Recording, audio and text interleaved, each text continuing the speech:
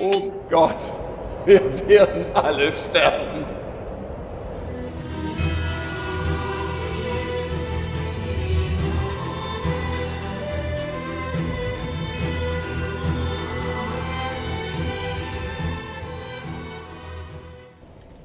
Hallo zur zweiten Folge meines Let's Plays zu Dark Souls 3. Ähm, wenn ihr die erste Folge nicht gesehen habt, hier nochmal ganz kurz die Erklärung, mache ich aber nicht jedes Mal. Ich starte mitten im Spiel, habe die letzte Folge mit so einem allgemeinen Rundgang durch die bisherigen vier Gebiete verbracht, ein bisschen was zu Dark Souls an sich erklärt und jetzt geht's los. Ich spiele quasi ähm, neu, wobei ich bin da oben auch schon mal kurz gewesen, aber wirklich nur reingeschnuppert. Da kommt dann bis zu so einem Friedhof war ich, genau, und dann habe ich Muffesausen bekommen. Also ab jetzt seht ihr Jörg Langer wie er wirklich spielt, nämlich angstvoll, zittrig und jedwege Schuld auf das Spiel schiebend. Okay. Okay. Okay. Also, das gucken wir uns jetzt gleich nochmal an.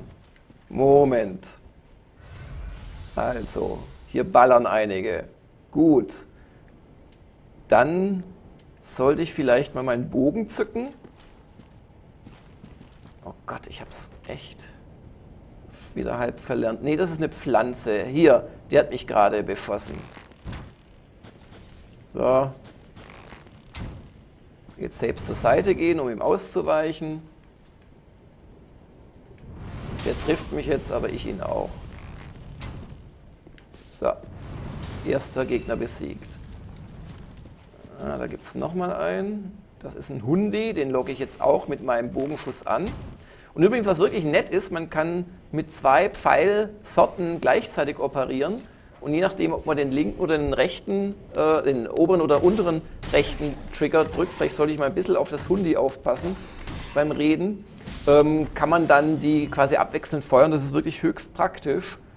Ähm, und ich benutze natürlich nach Möglichkeit immer die Billigpfeile. So. Ah, da ist schon wieder einer. Ne, noch ein Hund. So. Und oft kann man auch zwei Treffer setzen, weil die dann erstmal gucken, hä, was, wie?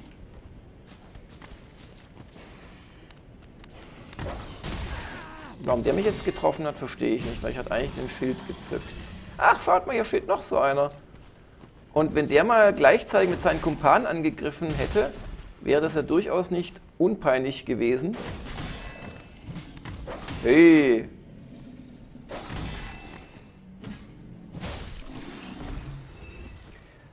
Aber so ist nichts passiert.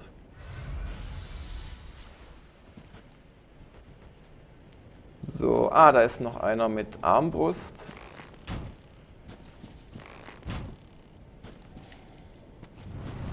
So, weichen wir aus. Und da rechts steht auch noch einer. Seht ihr das? Hier. Klar, da würde jetzt der Benjamin, wäre zum Beispiel schon längst einfach durchgerannt und hätte die einfach so gekillt. Aber ich bin der langsame, methodische, behutsame und versuche meine mangelnden, oh, das ist vielleicht gar nicht schlecht hier, eine Armbrust, äh, versuche meine mangelnden Fähigkeiten am Gamepad eben durch ein wenig ruhigeres Vorgehen auszugleichen. So, ich glaube, rechts konnte ich auch noch was einsammeln. Ja, wo komme ich denn da hin? Wie komme ich denn da hin? Hier rum.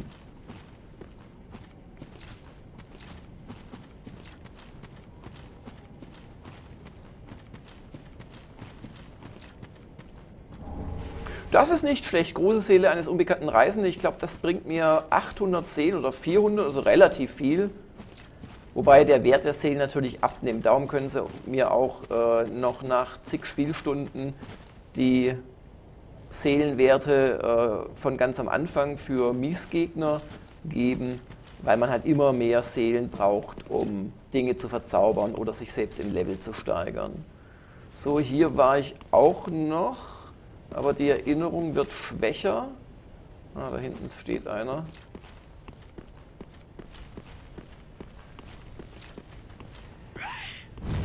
mehr.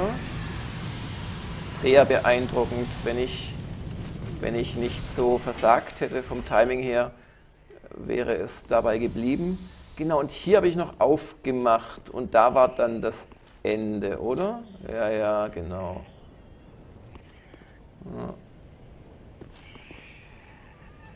Also, ab hier ist Neuland, liebe Freunde. Und ihr erlebt den echten Jörg Langer. Hier war bestimmt einer dabei, der mutiert, oder? Wenn ich noch wüsste, welcher das war, weil wenn der erstmal mutiert, das ist mutiert, Herr Langer, lernen Sie mal Deutsch, ähm, dann wird's, nee, das ist, ich habe ihn gestorben! Gleich mal gestorben, Wahnsinn, hm, schlecht. Äh, was wollte ich sagen, wenn, wenn einer von den Buben mutiert, dann wird er wirklich riesengroß und ist auf einmal gar nicht mehr so leicht zu besiegen. Aber die hier haben sich nur entflammt. So, genau, und jetzt kann ich zum ersten Mal in Folge 2 auch äh, demonstrieren, wie das System funktioniert für alle, die das ähm, noch nicht kennen. Wenn man stirbt, äh, ist es eigentlich nicht schlimm, nur ich habe jetzt meine Seelen verloren. Da waren ja 6000 irgendwas gestanden, also unten rechts. Und jetzt sollte ich nicht nochmal sterben, sonst sind die endgültig weg. Wenn ich hingegen mich jetzt vorsichtig vorarbeite, also nicht so wie gerade, sondern vorsichtig, und wieder an die Stelle komme mit diesen betenden Irren, ja, jetzt habe ich doch tatsächlich daneben geschossen, dann kann ich äh, die einfach wieder, ja, super Jörg, einfach wieder einsammeln. Na, da trifft er mich nicht. Also das ist auch so ein Punkt, jetzt trifft er mich, aber wenn ich so ein bisschen daneben stehe, kann es sein, dass er jetzt nicht trifft, genau, während ich ihn immer noch treffen kann. Und da kommt jetzt die KI auch nicht unbedingt auf die Idee, äh, mal einen Schritt nach rechts zu machen. Naja gut, ich treffe aber auch nicht. Jetzt. Jetzt hätte ich eigentlich treffen müssen, Kameraden.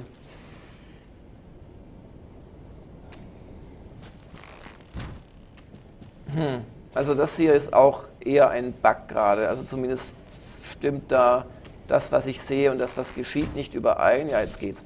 Und ähm, also wenn ich da jetzt nochmal hinkomme und die Seelen aufsammle, dann habe ich nichts verloren, sondern im Prinzip auch noch durch den erneuten Weg, durch die wieder gleichen Gegner. Ähm, ja, das ist keine gute Idee, in den Nahkampf mit dem Bogen zu gehen.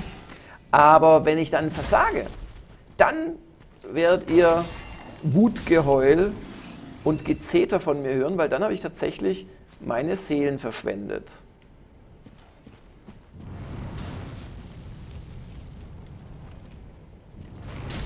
Ja, ich irgendwie, also gebt mir mal, gebt mir mal zwei, drei Folgen, um wieder in die Timings reinzukommen.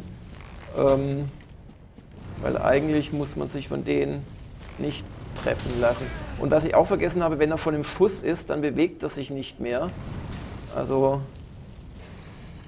ja, muss ich den halt jetzt mal schlucken. Er hat nicht getroffen, peinlicherweise für ihn. So.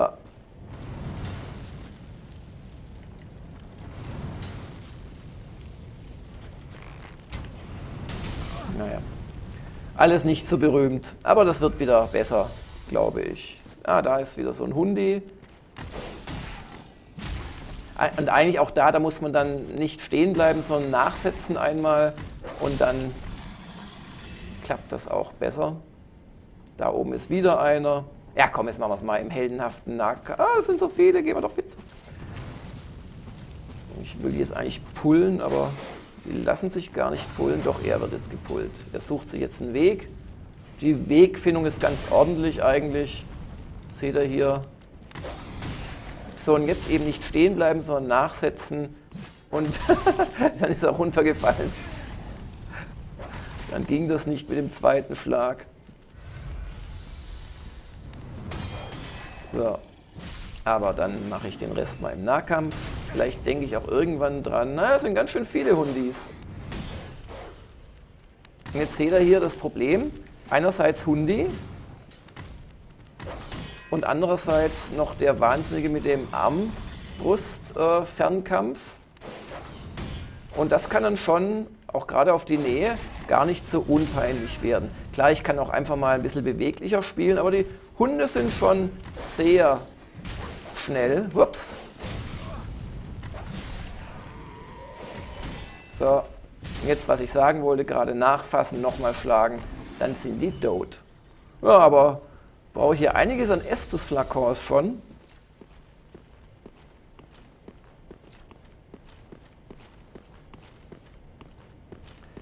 Ähm, ja, hier wissen wir ja, was passiert.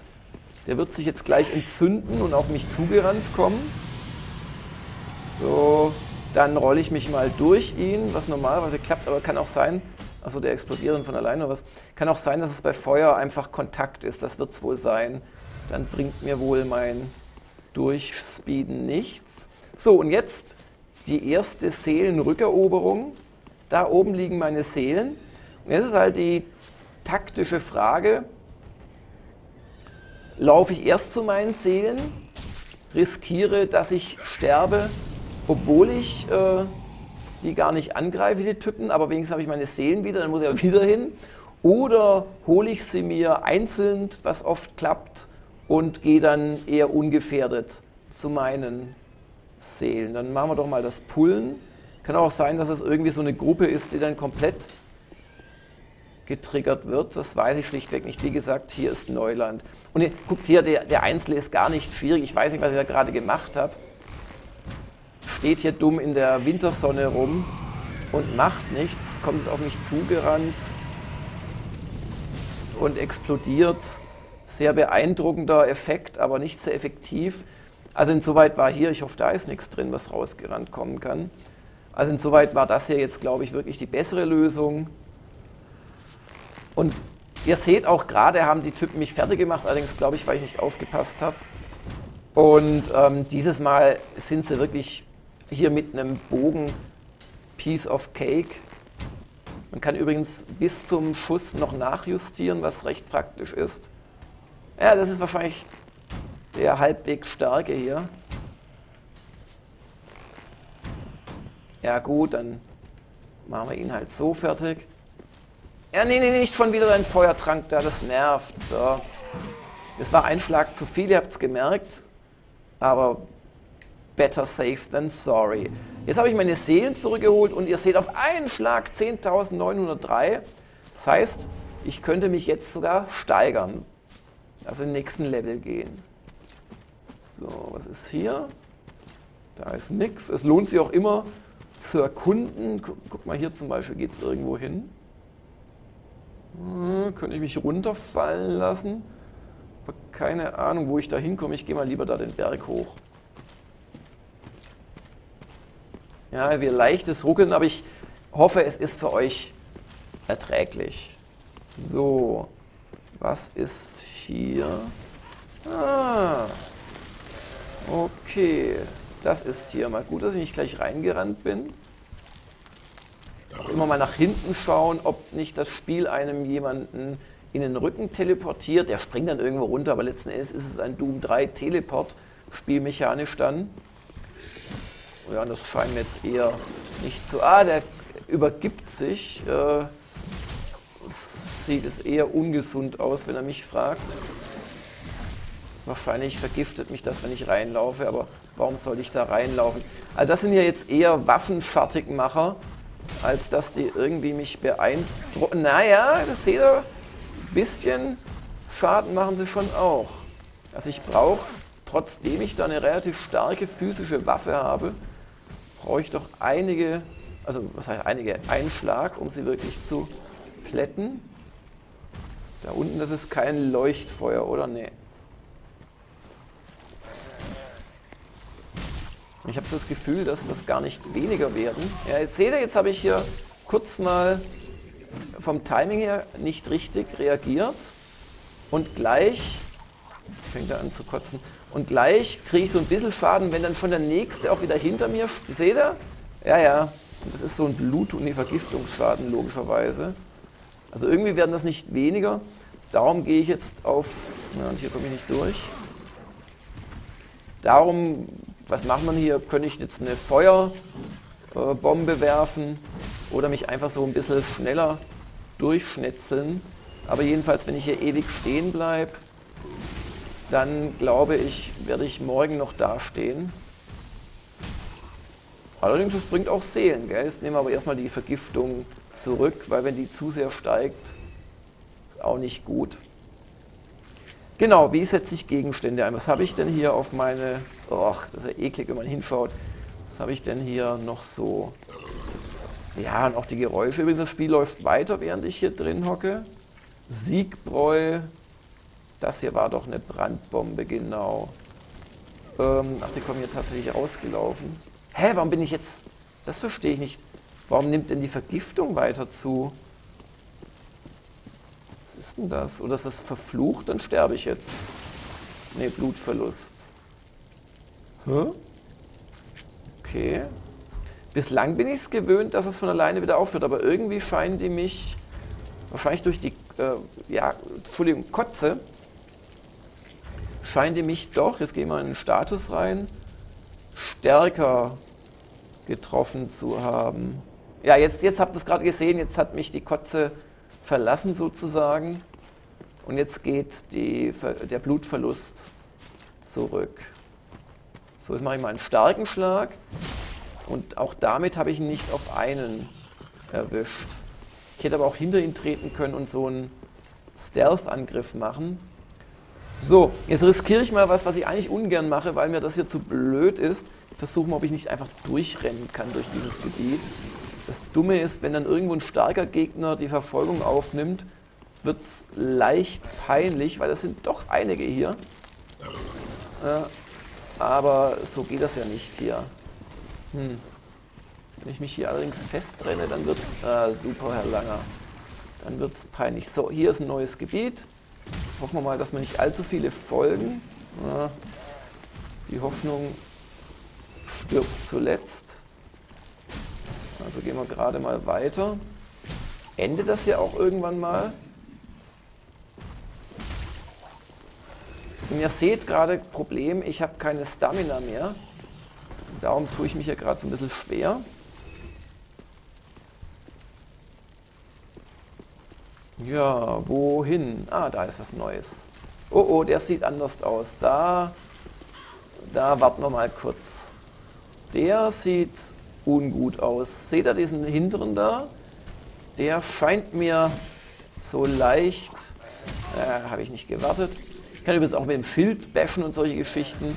Aber also ganz ehrlich, so der Standard 1-2-Angriff. Ja, super. Ist meistens am effektivsten. Gut, jetzt gehe ich mal hier hin, in der Hoffnung, dass ich den noch nicht triggere, den der da die Treppe hochläuft. Und dass ich hier auch in Ruhe gelassen werde. Die scheinen nämlich nur hochzukommen aus der Erde, wenn ich direkt neben ihnen stehe. Und dann gucken wir mal. Ne, den meine ich nicht. Das sind ganz normale. Ich meine den, der da die Treppe hochschleicht. Der scheint mir irgendwie nicht ungefährlich zu sein. Jetzt hoffe ich mal, dass irgendwann diese Blutung nachlässt. Dankeschön. Nichtsdestotrotz könnte das ja ein normal zu killender sein. So, und jetzt gehen wir mal wieder zurück und schauen uns das mal in aller Ruhe an, während unsere Blutung nachlässt. Ja, na, da kommen schon wieder neue. Okay, dann muss ich mich dem Fritzen wohl stellen. Man kann auch zutreten, aber das ist, klappt bei mir irgendwie nicht so gut. Ehrlich gesagt, das finde ich jetzt eine nervige Stelle mit den dauernd nachwachsenden... Oh, aber schaut mal hier, schöne Aussicht, oder? Das müsste jetzt nicht sein. So, jetzt werfe ich mal ein Estus-Flakon ein. Das Peinliche ist, wenn natürlich, wenn ich hier sterbe, wird es dann schon etwas aufwendiger, die Seelen zurückzuholen. Jetzt schaut mal ihn hier. Das sieht doch nicht gut aus, oder?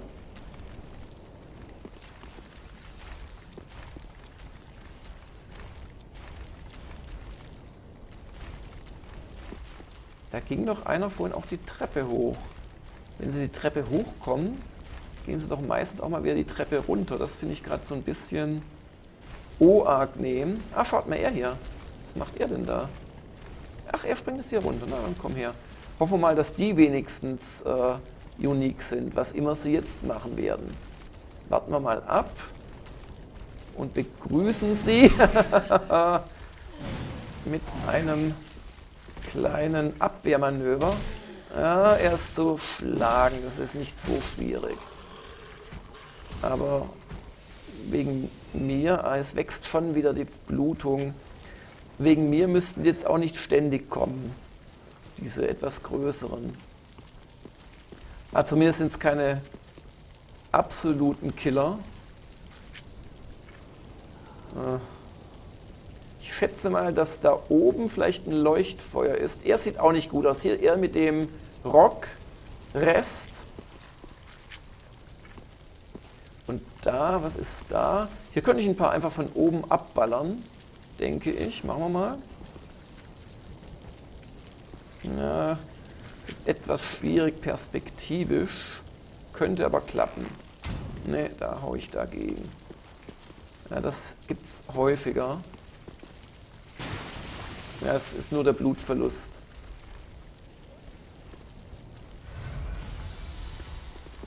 Kann ich natürlich meine Rüstung optimieren, gucken, dass ich eine mit Anti-Blut finde, mit Anti-Blutung. Ja, wenn mir das mitten im Kampf passiert, bleiben wir doch mal noch kurz hier. Ja, da ist schon wieder was. So, aber ihr seht, wenn ich einfach ein Schild hochhalte, blocke ich doch sehr viel von dem Angriff.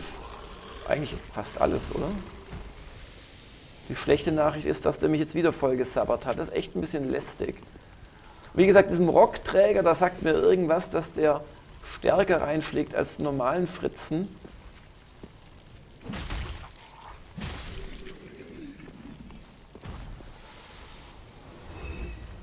Hm. Und ich möchte hier nicht sterben, weil ich habe einen Stufenaufstieg. Ähm, Es wäre für mich so der Moment, und was heißt wäre, wo ich eher den Rückweg antrete. Ah, aber ohne, ohne Risiko kein Spaß. Der Träger da ist nach rechts gelaufen. Ich kriege gleich nochmal einen Blutungsverlust. Und ich laufe jetzt nach links hoch. Weil ich da nichts bislang gesehen habe, drehe mich jetzt um. Und da ist er auch schon, seht ihr? Habe ich doch richtig geraten. So, jetzt habe ich keine Stamina mehr. Oh je. Ah, weg, weg, weg, weg, weg. So, das kann nämlich peinlich enden, sowas. Wenn man da jetzt in so eine Angriffswelle reinkommt. Aber ich habe ihn geschlagen.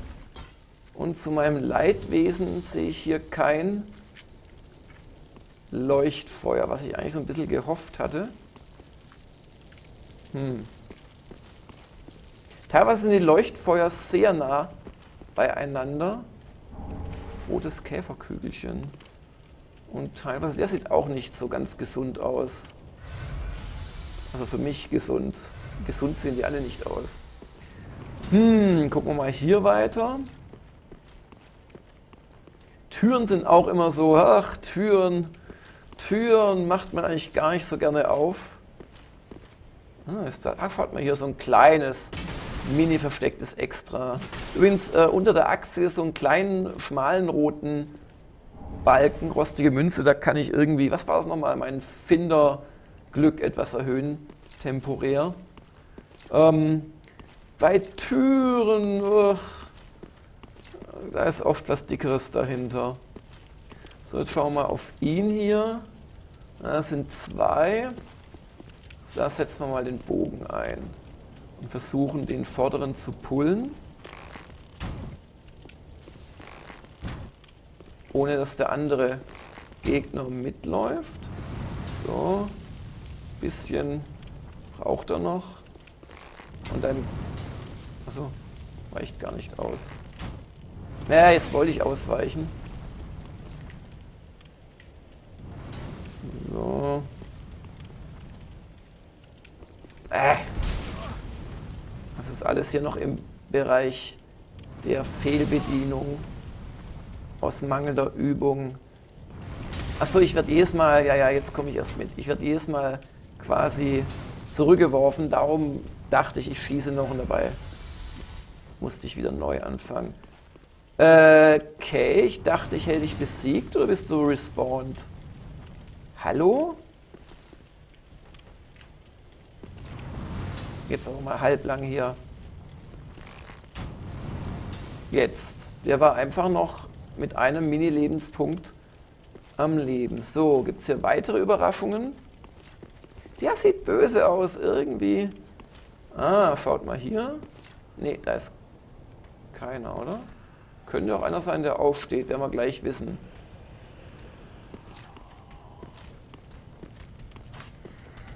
Was macht denn der für... Ah, seht, das ist auch wieder so ein... Ja, das ist so eine Geschichte. Musste, musste das jetzt sein, dass da einer her teleportiert? Ich sage nein. Darum gehe ich mal den taktischen Rückzug machen und erwarte sie hier an einer Stelle, wo sie mich zumindest nicht zu dritt gleichzeitig erwischen können. Weil das ist auch so ein Prinzip bei Dark Souls, wenn man, wo ist denn der dritte hin? Wenn man von mehreren Seiten angegriffen wird, das ist ja überhaupt kein Gegner hier. Also das ist ja enttäuschend, da habe ich mir so Sorgen gemacht. Ähm, wenn man von mehreren Seiten angegriffen wird, das ist meistens der Anfang vom Ende. Aber einer ist noch abgängig. Hat der sich verlaufen oder was ist mit dem passiert? Das waren noch drei. Ich kann noch bis drei zählen. Oder ist der so, vielleicht war es so ein explodierender? Manchmal fallen sie auch irgendwo runter. Das ist besonders lustig bei Bossgegnern. Ah, komm, gehen wir mal hin, ob man sie aufmachen kann. Ja, nee, lass mal. Und ähm, ich hoffe ja immer noch auf das Leuchtfeuer, weil da fühlt man sich dann gleich sehr viel wohler, wenn man in einem Gebiet quasi so eine feste Heimat hat und weiß, hier kann mir nur begrenzt viel passieren. Ah, da. Nee, nee, das ist auch kein Leuchtfeuer. Aber irgendwo wird eins kommen. Und die Folge nähert sich den 30 Minuten. Gucken wir mal. Hier ist die größte Gefahr jetzt, dass mich einer von hinten angreift. Exakt. Nee, eigentlich, dass ich runterfalle, wenn ich so typische Ausweichbewegungen mache. Also das soll ich hier tun, nichts vermeiden und auch nicht im Überschwang der Gefühle aktiv runterfallen. Ja, ansonsten kann mir eigentlich hier gerade nichts passieren. Hm. Was ist denn hier? Ich soll doch hier hoffentlich nicht runterspringen. So. Ich habe auch nur noch zwei Estus-Flakons.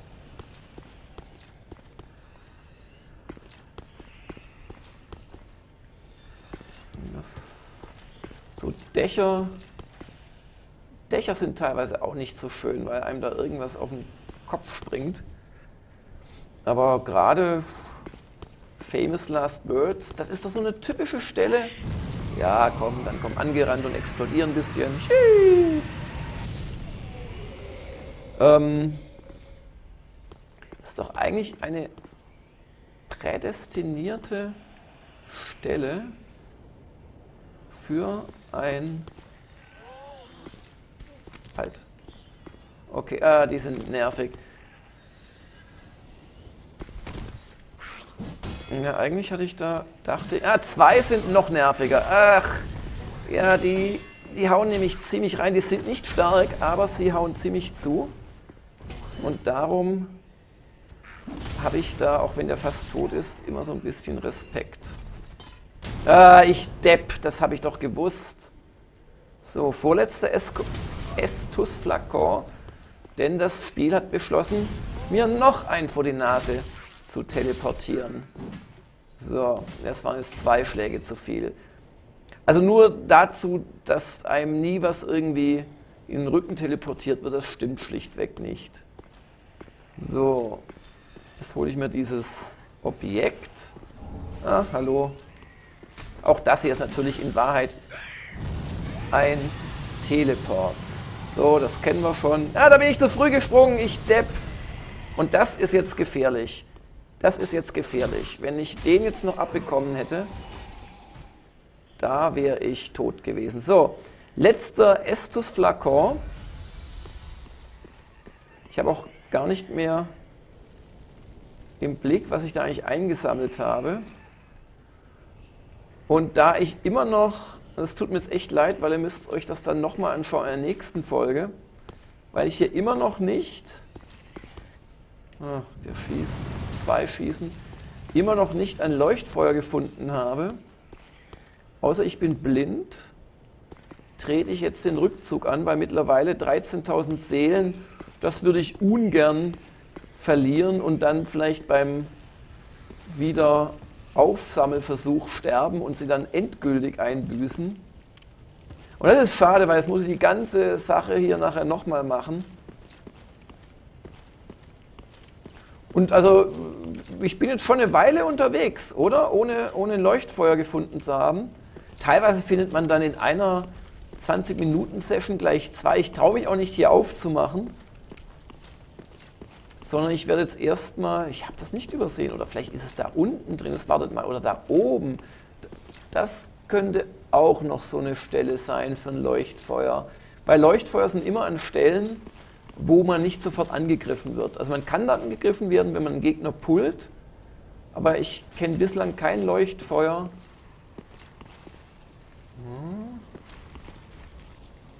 wo man quasi ohne Verschulden zu Schaden kommt.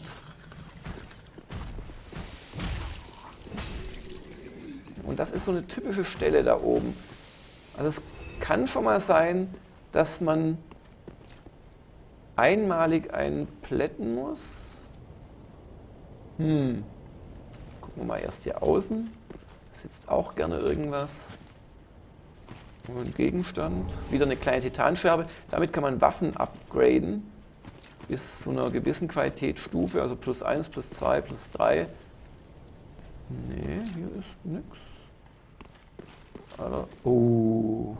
Ein Anti-Fluch-Großschild. Das scheint ja genau zu sein, was mir gefehlt hat. Aber hörte auch die Fuß. Ne, es ist einfach die Fußtritte, wollte ich sagen. Es ist einfach. Schaut, wie ich so äh, am Bildschirm fast klebe. Immer noch kein Leuchtfeuer. Hm, das finde ich jetzt echt unbefriedigend. Ja, hier hocken irgendwelche Typen. Ich weiß nicht, sind das anvisierbare Gegner? Werden wir gleich feststellen.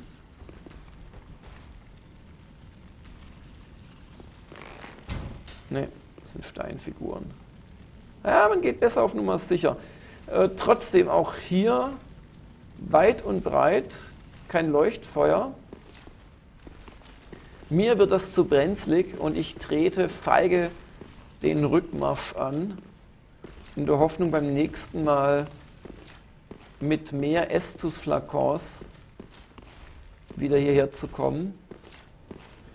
Hm, also, das ist echt ein bisschen nervig. Und dann hier hoffentlich ein Leuchtfeuer zu finden. Schauen wir hier nochmal hin. Komme ich auch wirklich hierher?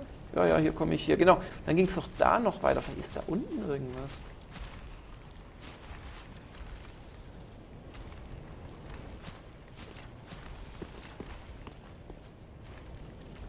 Ja, das sind zwei Gegenstände, aber nichts Leuchtfeuriges. Ja, und durch die laufe ich jetzt einfach durch. Da käme ich runter oder hier auch. Da muss ich aufpassen, weil hier ab und zu Gegner kommen. Aber also ganz ehrlich, ruft es mir laut zu, hier ist doch nirgends ein Leuchtfeuer. Hier kommt jetzt irgendwann einer hochgeschlappt wahrscheinlich. Drei Gegenstände könnte ich da einsammeln. Also das schaffe ich auch. Da könnte ich noch runtergehen. Ja, das mache ich beim nächsten Mal. Nix, nix übertreiben. Außerdem muss ich mal für kleine, mutige Chefredakteure und Daumen Ah, jetzt habe ich wieder so eine Vergiftung. Ach, komm, weg da. Ah, Mist, da muss ich mich durchbrezeln. Okay, letzter Estus-Flakon.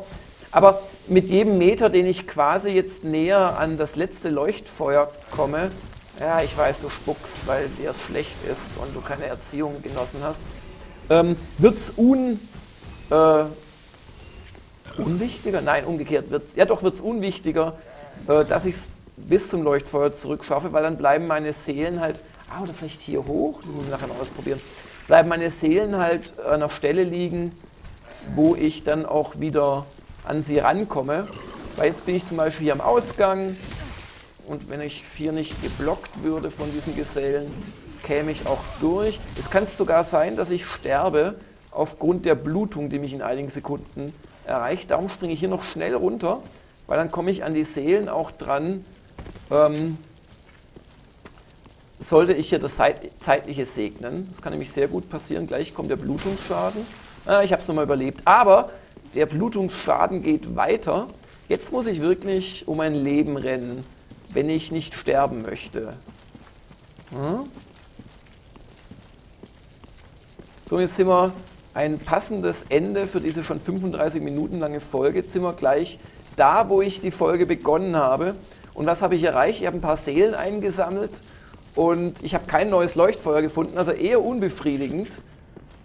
Ah, jetzt, okay, jetzt überlebe ich es. So, und an derselben Stelle, wo wir schon mal geendet haben, ende ich jetzt wieder. Und beim nächsten, bei der nächsten Folge werden alle Gegner wieder da sein. Aber ich werde mehr schon wissen, was mich erwartet. Und darum danke für die Aufmerksamkeit und bis morgen zur Folge 3.